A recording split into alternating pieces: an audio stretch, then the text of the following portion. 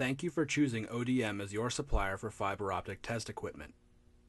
The following shows how to inspect fiber end faces using the VIS 300 inspection scope, the 1.25 universal adapter, and the LC 60 degree bulkhead adapter.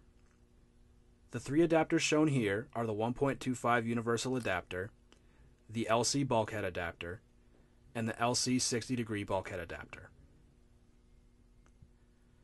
Connect the pair fiber directly using the 1.25 universal adapter tip.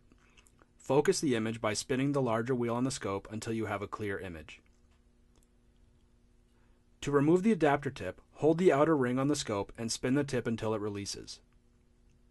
To inspect LC bulkheads in hard to reach areas, such as a distribution box, the 60 degree LC bulkhead adapter can be used. Now, insert the angled bulkhead adapter into the LC bulkhead. Simply rotate the VIS 300 to focus your image utilizing ODM's proprietary external focus system.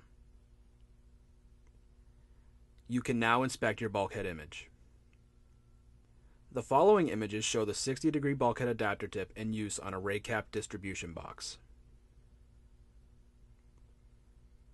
Thank you again for choosing ODM for your fiber inspection needs.